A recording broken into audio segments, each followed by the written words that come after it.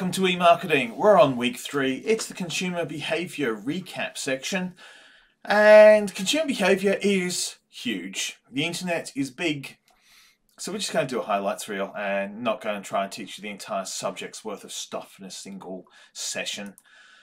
There are two things that you want to consider though. First, consumer behavior is the theoretical framework, well, it's the way in which you can explain your experiences.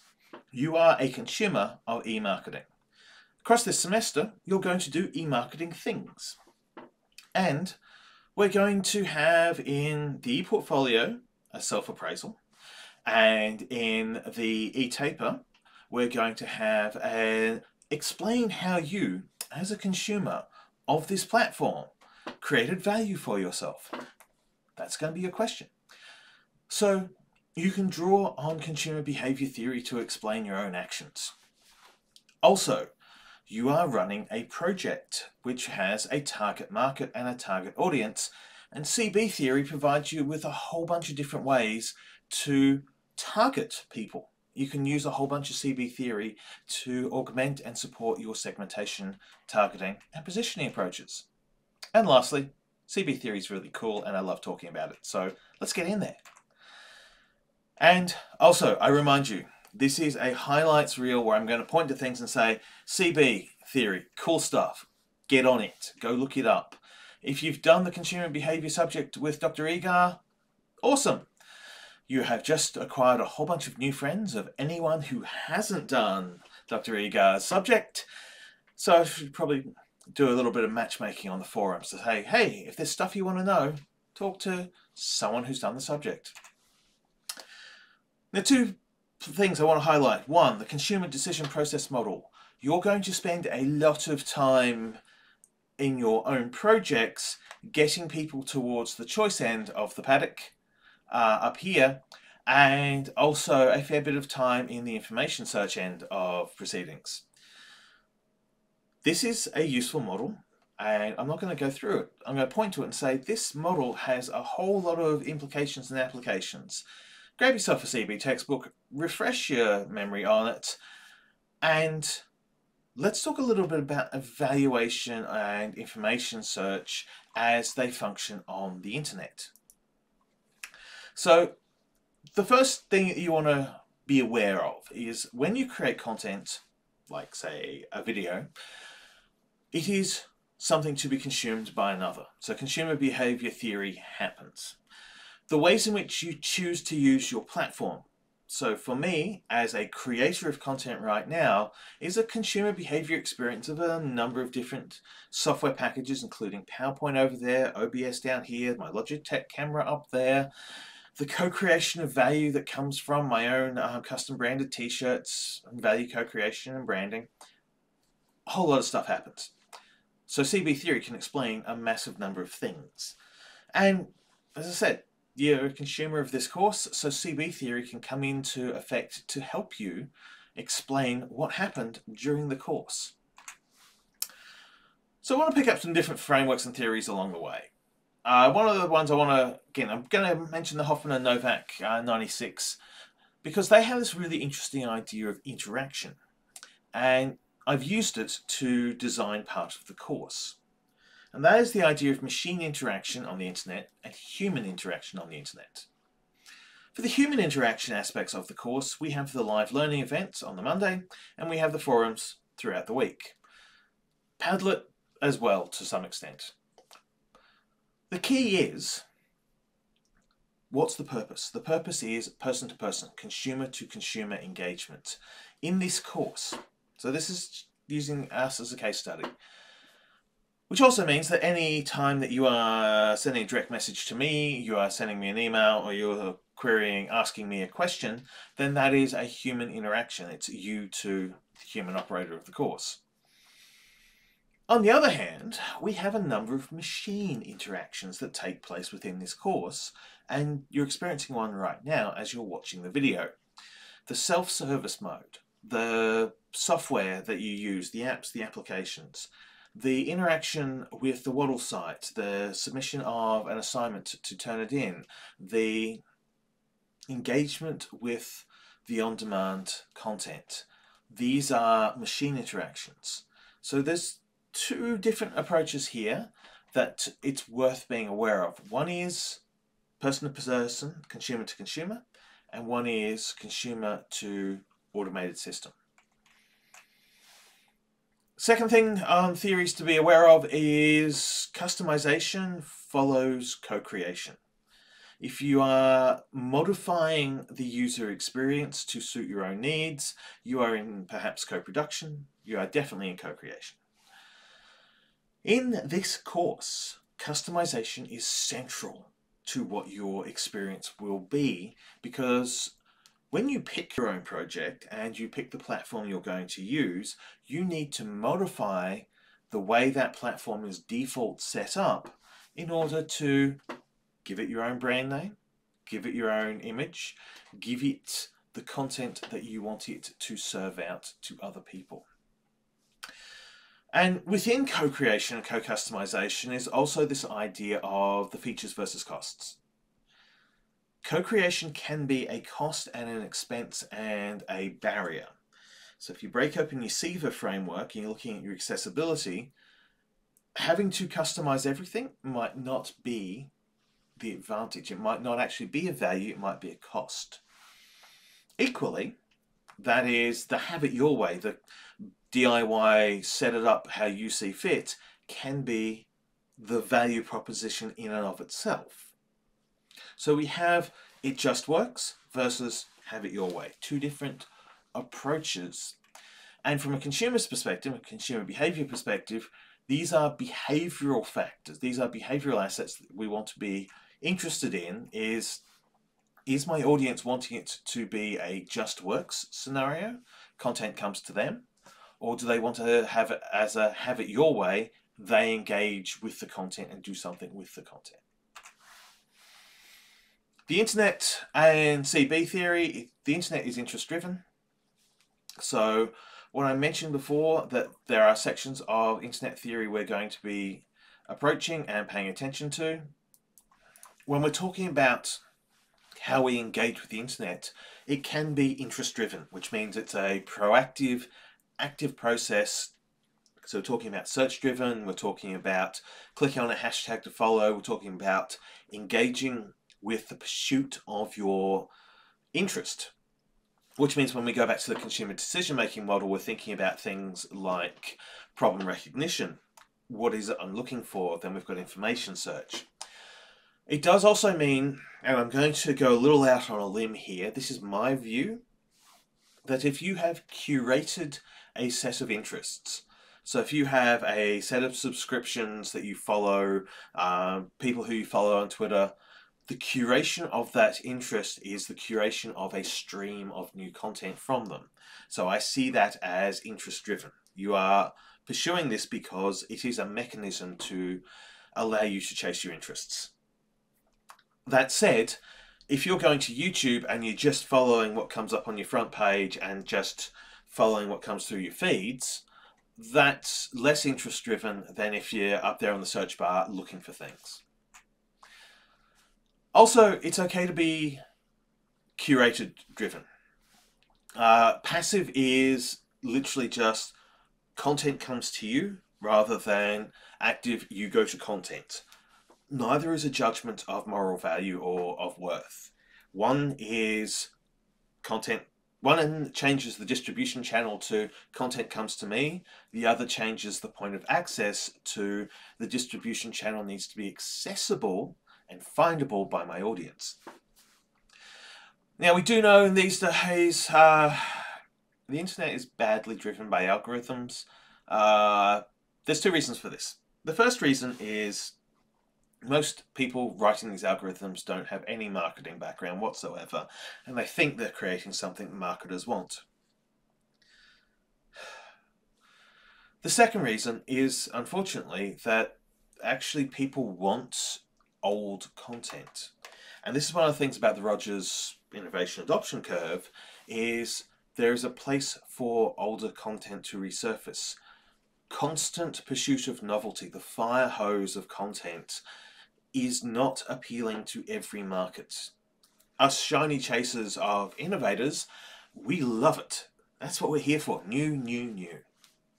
But if you're all about the early majority and late majority, which is 60% of the audience, you want the older content. You want stuff that you've seen before come back because that's a feature. That's of value to you.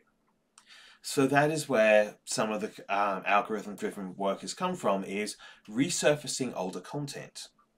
The problem is algorithm-driven uh, content distribution is very young in terms of its uh, product lifecycle, its maturity in the marketplace, and its general capacity to get the job done. So we know that in the future it's going to be better because in the future it should take into consideration a shiny chaser like me wants all the new things and doesn't want to see the same Instagram post four times. I want to see, I subscribe to content because I want to see the content.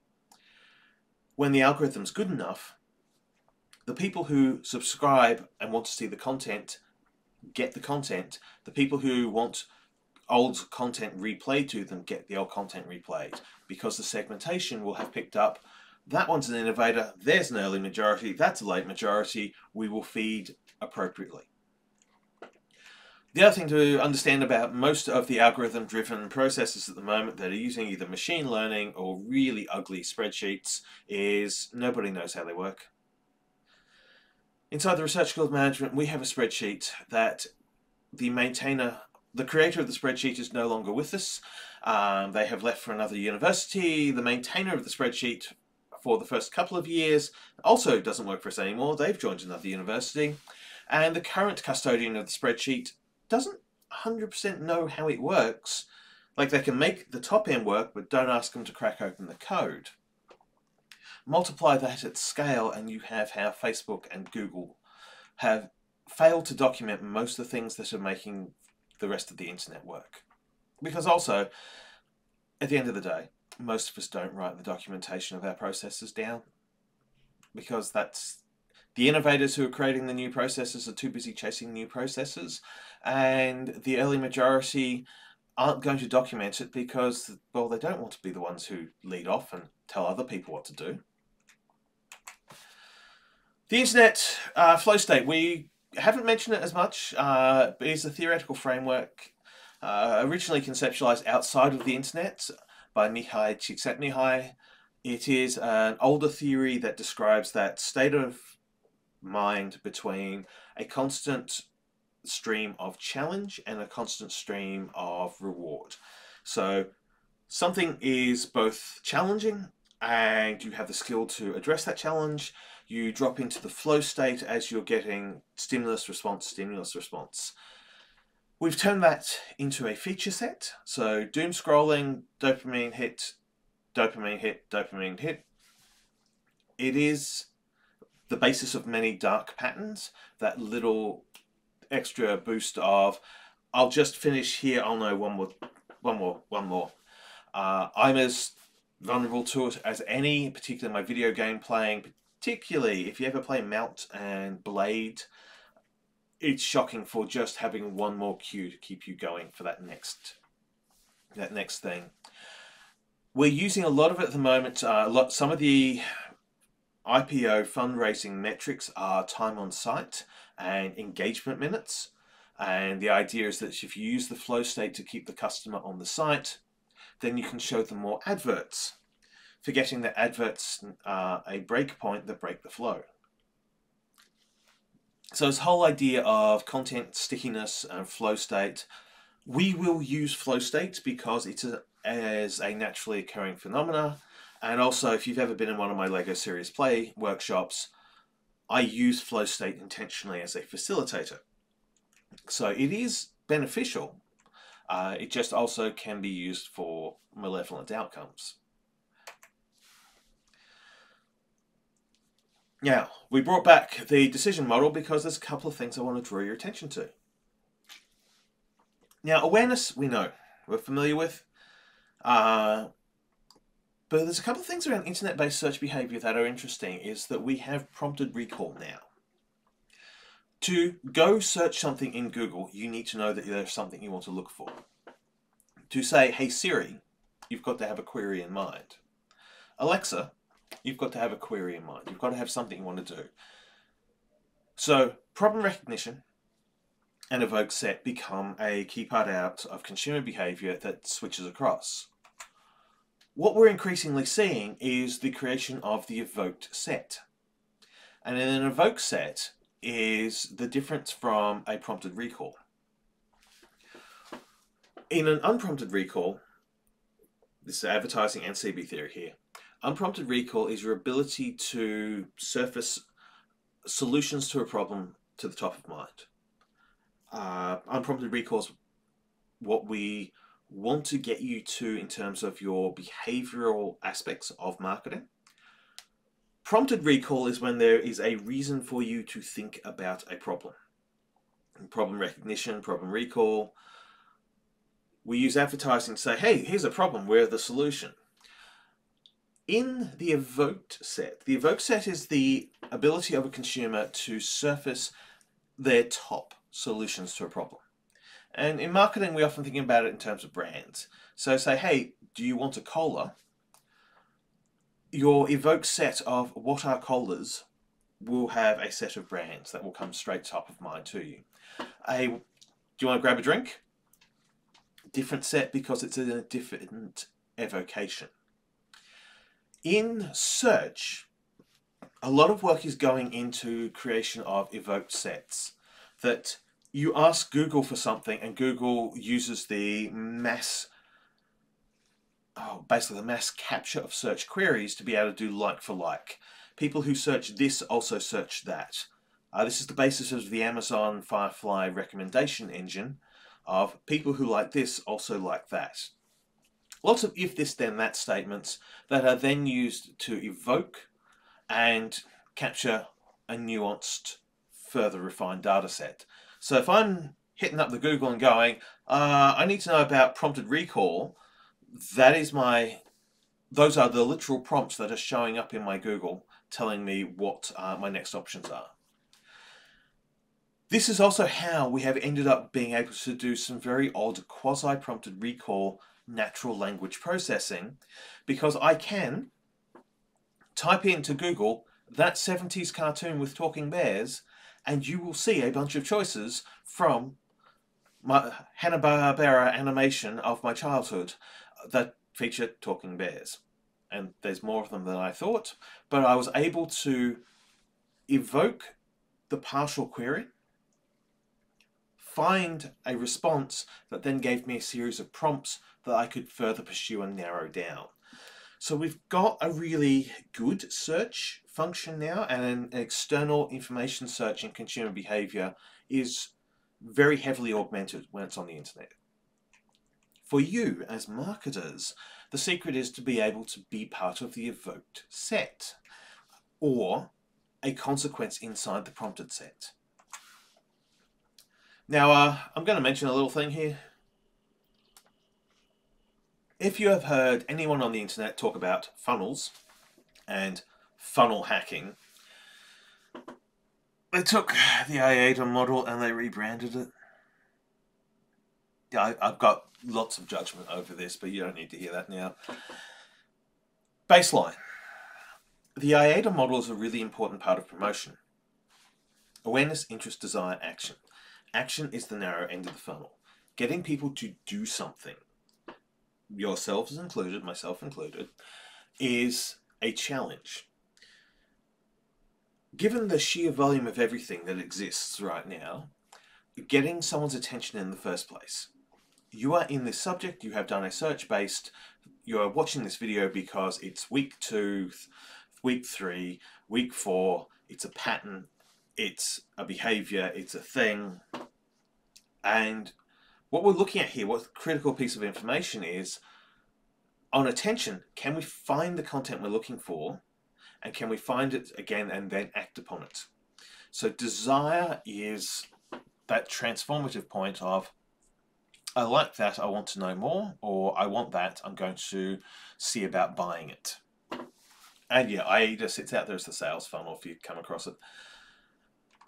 For us and for you, in your project, desire to action is very important because Well, kind of being blunt about this, you're going to need to apply this model to yourself. It's very easy when you write an assignment to stay at attention interest. You read around, you go, I'm going to write, I'm going to do that. Oh, yeah. Or oh, that'd be useful for the assignment. It's that paralysis by analysis, or I'm just going to read one more paper, then I'll start writing. Action is writing. For you in the project, action is creating content for the project. You can tweak around with the stuff as much as you like, but you gotta go create the project content so that you've got a project that provides you with the data that you need for the analysis in the e-taper. All right, consumer behavior. Let's talk a couple of theories. Let's talk a couple of frameworks. Bonus points is if you can get to you actually use them for yourself as well as using them on yourself. All right, disclaimer. This I did my honest thesis on risk. Risk is an area of marketing where there's a lot of work that's been done on risk mitigation and risk reduction, and I'm out here going, risk is as much a value offer, an offering that has value, as it is something to be mitigated as a cost to be minimized in price. Understand risk and understand risk variables and know how it works and make use of them, both in the way you study and engage in your learning of marketing and as a consumer. So let's talk about a couple of the risks. Financial risk. This is top of my list of sell it as a feature. The if your ethics alarm just went off, so did mine. Be conscious of what you are doing. Know that if you are advocate if you're advocating for gambling, rabbit hole effect, loot boxes, in-app purchases, DLC, anything where there is a fear of missing out that can be moderated and mitigated by pressing a button to hand over money off a credit card, there is an ethical ramification to your action. There's also profit. There's ethics, and ethics need to be kept in consideration. This is a fundamental basis for dark patterns. Risk is just that. It may not have a payoff. And the consequence of a, low, of a non-payoff in a risk event can be pursuit of a larger risk to make up the gap. This is chasing bad money after good, uh, good money after bad in gambling. But financial risk also means that things can be more expensive than you thought they would be. For example, 3D printers.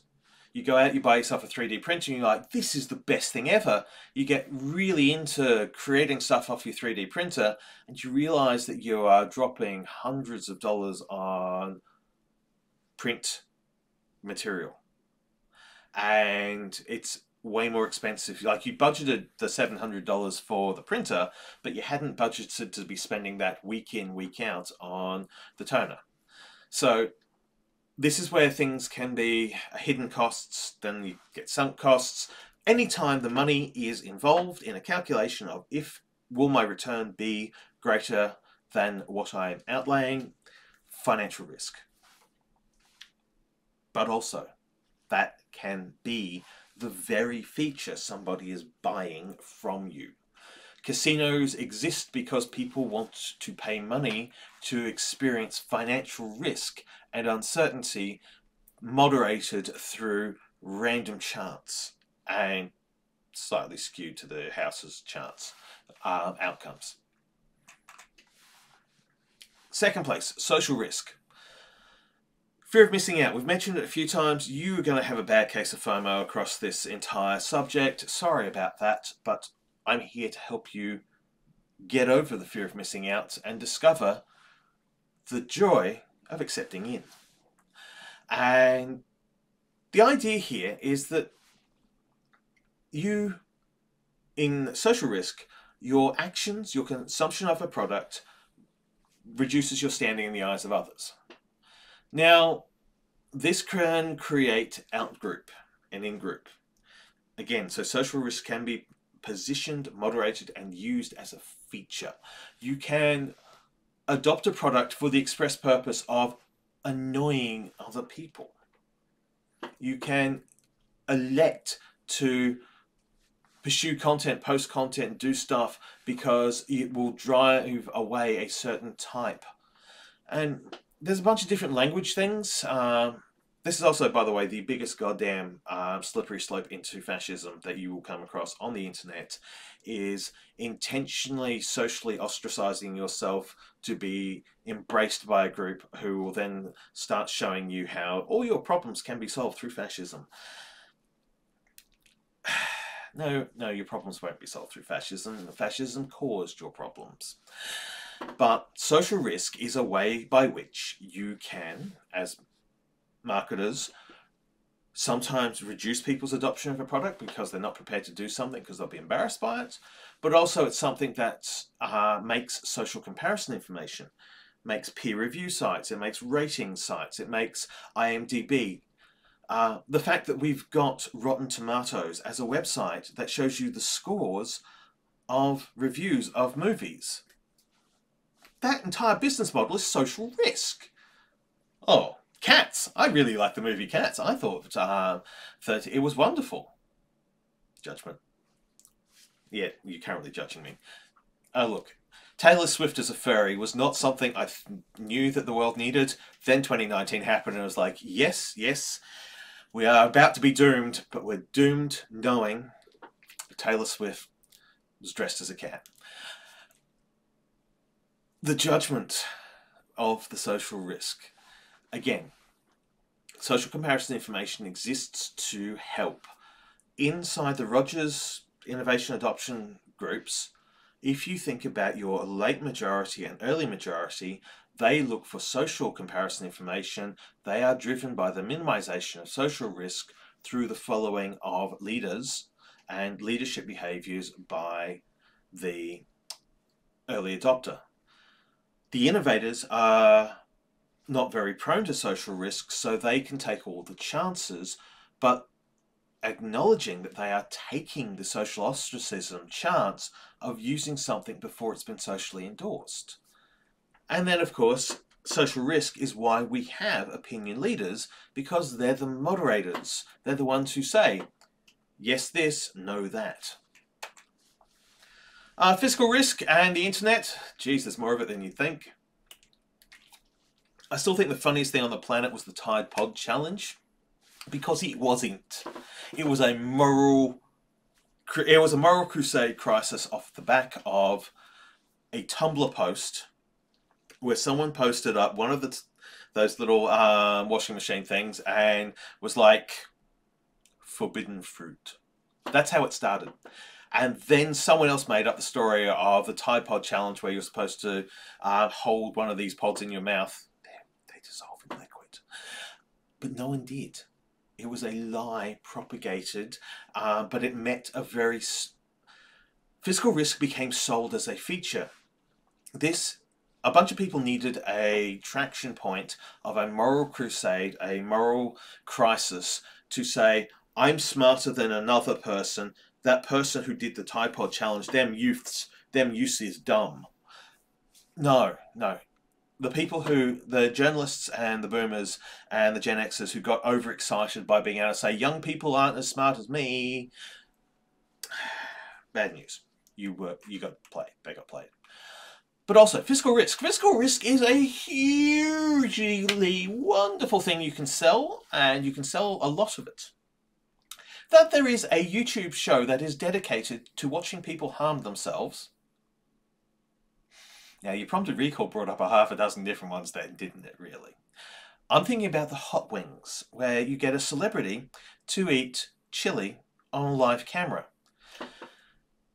which is an intentional form of self-harm. They're going out and burning themselves with capsaicin. They're going past that, and quite often they're going past their physical limits, which will cause a variety of food poisoning effects. And they're doing it for the Vine. They're doing it on YouTube. So there are a number of, again, in terms of people mocking people, um, deaths due selfie-related injury, yeah, no kidding. Um, people are doing dumb things for a long period of time. It's just now we've got the footage of them at the end.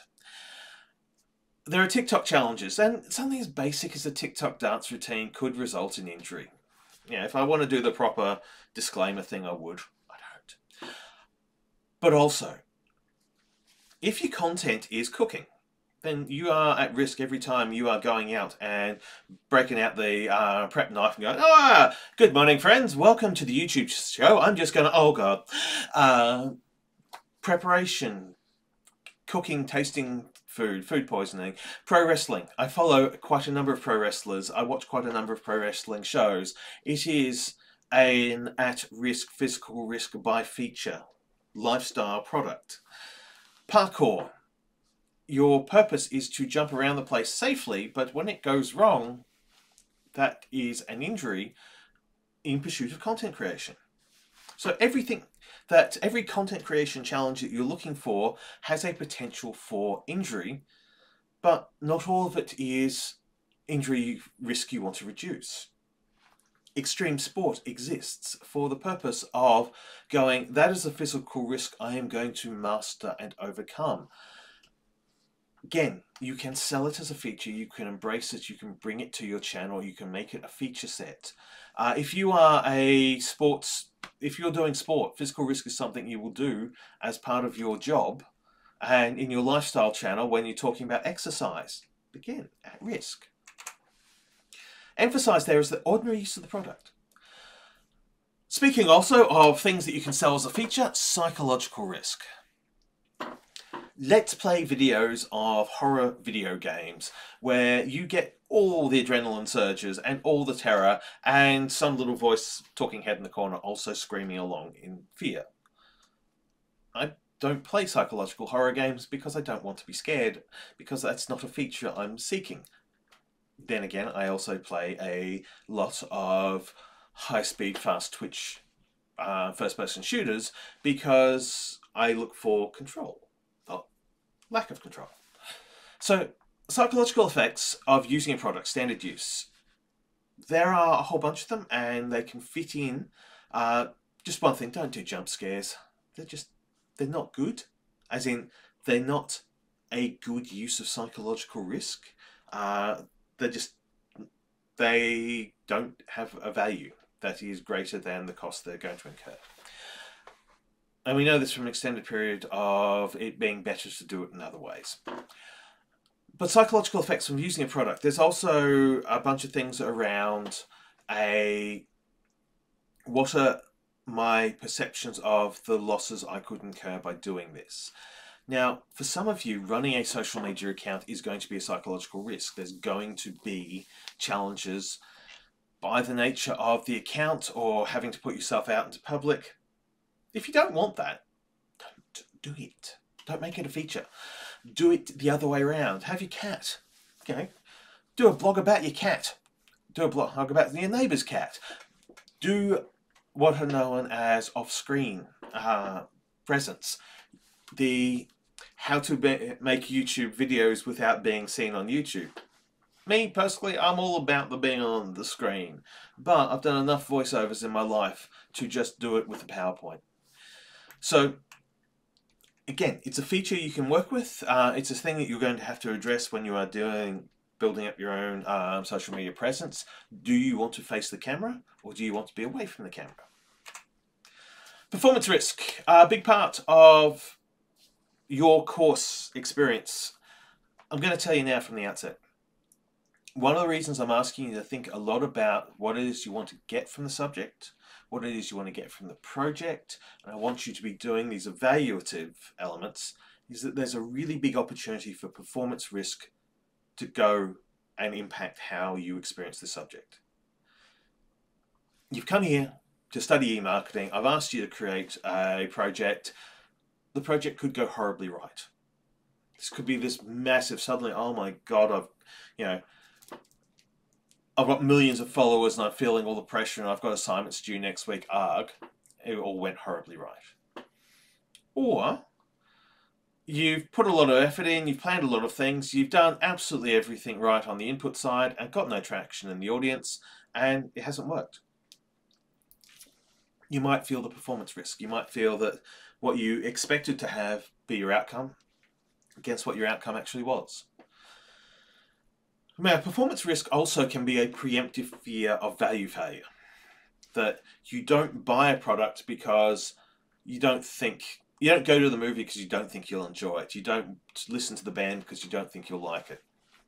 You preemptively go, that won't meet my need.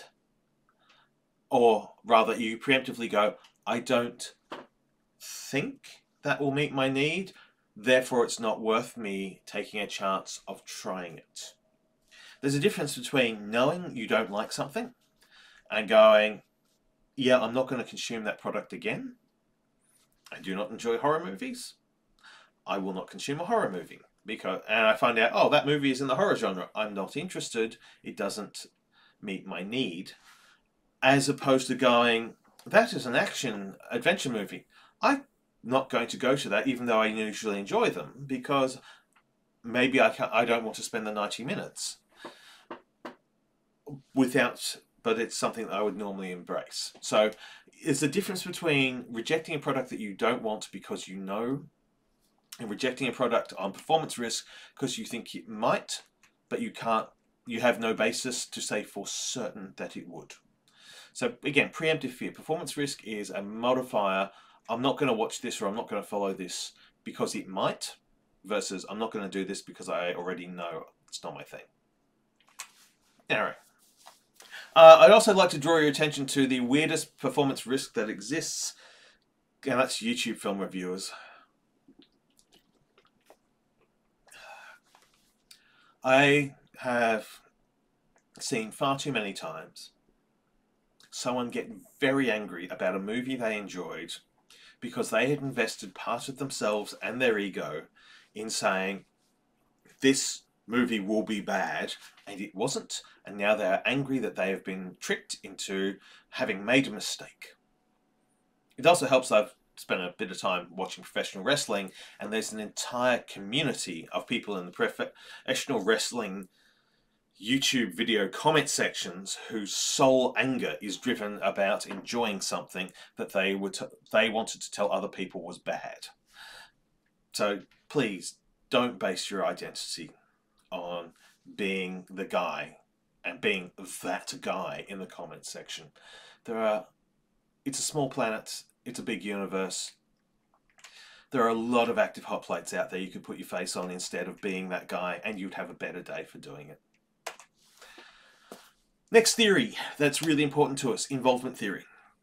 Massively important to how we consume social media, but also important to the subject.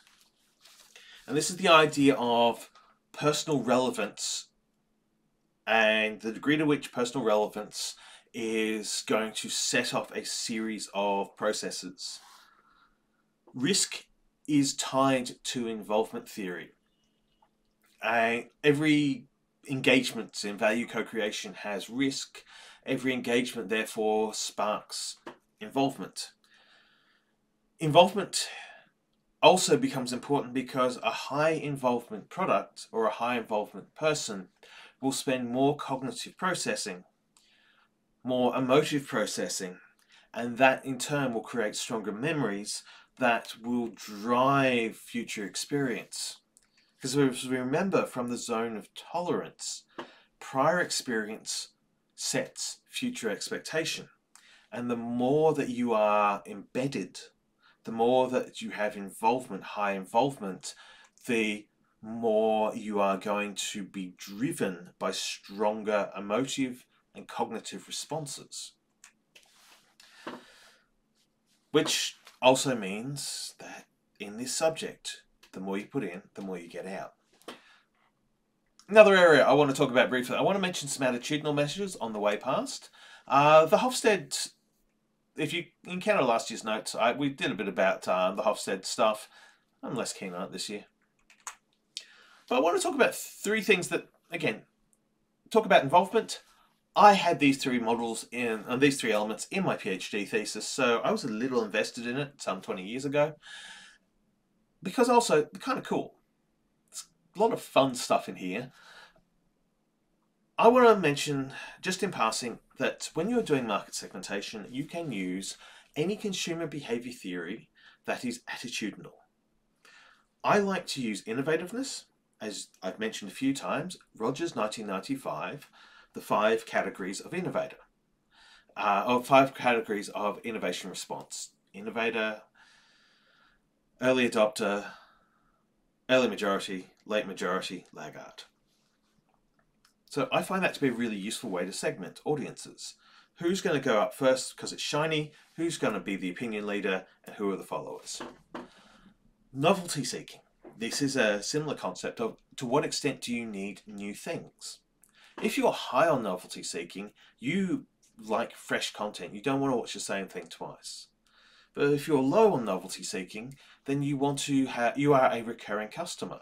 You want loyalty programs. You want you like classic music stations and classic rock, and you have playlists that you replay. The other thing to understand is that attitudinal measures measure a snapshot in time. They are not permanent constructs. And you can change by domain.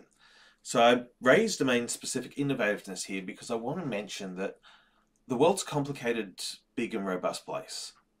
And you're not always wanting novelty and you're not always wanting innovativeness, even if in certain areas you score really high. So me, I'm driven by chasing the shiny. I like new technology. I love doing new things in the classroom and teaching and learning stuff. But I play the same video game day in, day out.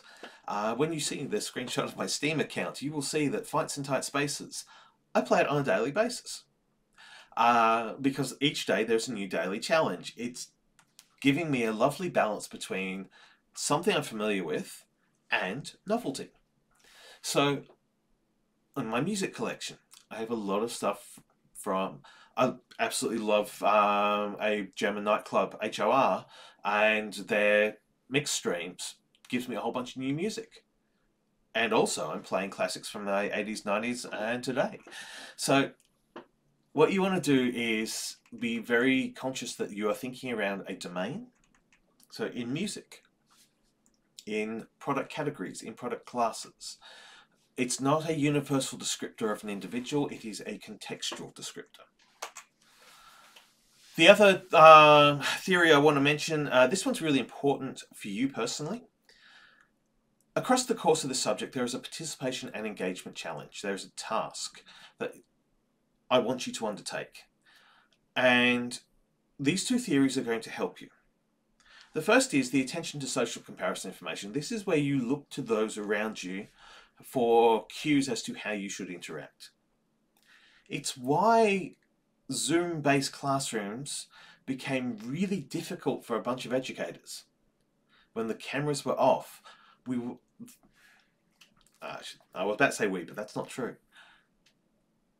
Those who have a high attention to social comparison information can't get that information by looking at the blank screens. Those of us with the low attention to social comparison information don't need that information so we can talk to webcams without needing to see people responding on the screen. This is something for you to assess amongst uh, of yourself. To what extent do you need that peer approval? To what extent can you operate independently of it? Because if you need the approval, you'll need to start setting up a culture of cross-validation. You'll need to ensure that the cameras are always on in the breakout rooms so that you can see people's body language and their responses. You'll need to physically modify the way you conduct your self in a virtual environment. Also, you'll need to work out some way of doing it in the forums. Like maybe follow up saying, yeah, I agree, I like that, plus one. Uh, there's a an upvote function in the Padlet, by the way. On the normative outcomes front, the value here is that this is your self-filtration, self-censorship mode, where you run a judgment call. You look to the information of the room around you and go, to what extent you think this internally, subconsciously processing, if I say, if I make my statement, if I say something, what will the people around me think about me? And you make your decision as to whether you're going to contribute based on what you assume their assumptions are. I can tell you now that normative outcomes are beautiful things because most people in the room are too busy worrying about what the people in the room are going to think about them to spend time worrying about what they think about you. It is a recursive loop though. If you are strong on attention social comparison information, you need that recursive, you need that support. You need to know that people are nodding along. Yes, yes, copy that. If you're high on normative outcomes, you will be self-filtering on the basis of what you think the others will think. But if you're low on the ATSI and you're low on normative outcomes, you'll also be like, yeah, well, I'm going to say my mind. And you're not interested or you're not worried by that content. Social media has a whole bunch of different ways. So in attention and social comparison information, some of that ATSI is in fact metrics. Likes, comments and shares can be translated into social media versions of attention social comparison information. If you've ever taken down a post because it didn't get enough likes in the first 10 minutes it was up, then that's what your score is. That's that's who you are and how you operate, and you should embrace it and you should work with it, knowing that there is a framework that describes how you function. All right, the last area of consumer behavior that's vitally important to understanding is behavioral. And the thing on the behavioral is I want to talk to a couple of things. One's role experience.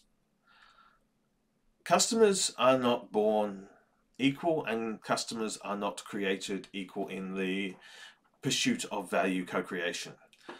When you are a neophyte, beginner in a co-creation environment, you don't get the most value you can out of something.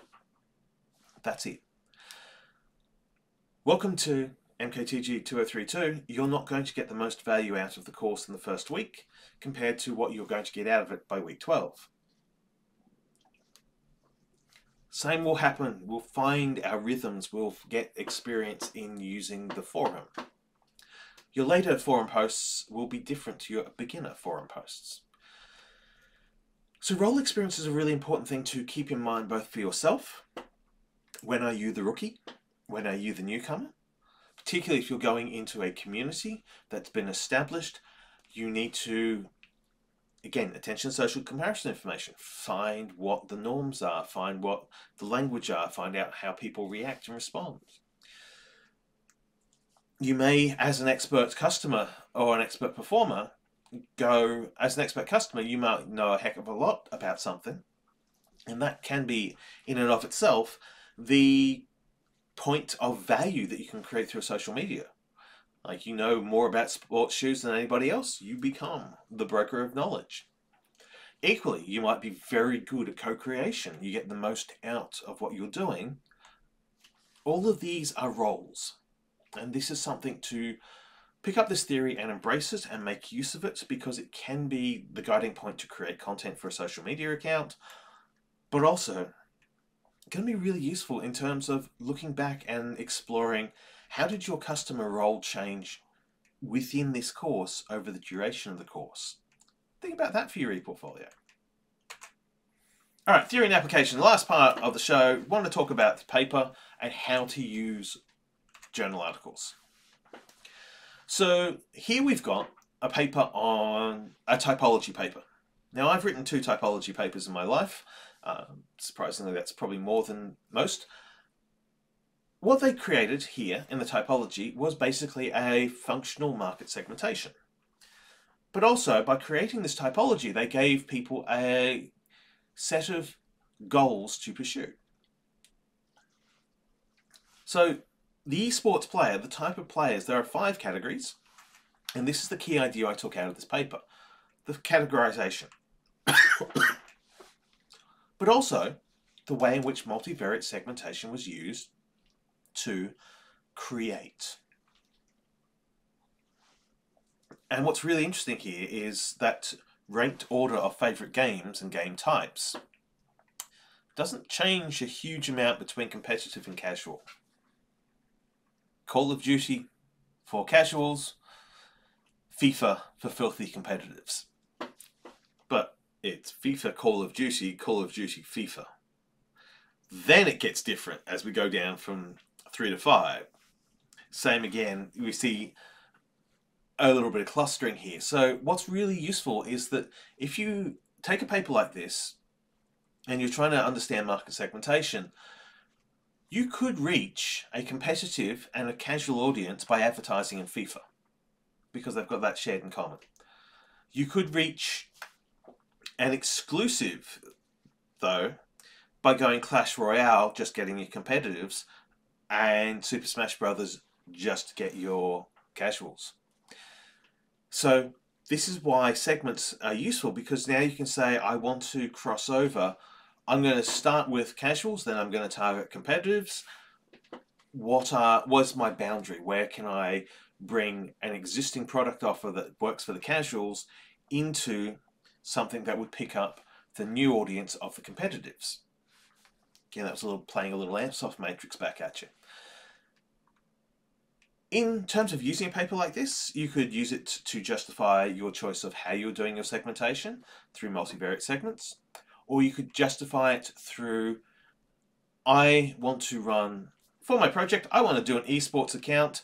I would describe myself as casual social because uh, based on Hedlund's 2021 typology of esports, I play for the connection and the social aspect, so this is why I think it would work for my uh, having a Twitch account and a Twitch stream where I played the game and chatted with people whilst I was playing. Casual social, connection, social and sport. And that's how you could justify something through the use of a paper like this. And with that, if you need me, you know where to find me through the forums, off the back of the Padlet, across the socials, direct through the email, or line up a consultation via the Wattle site. And with that, Cheers, mates. It's been a good one.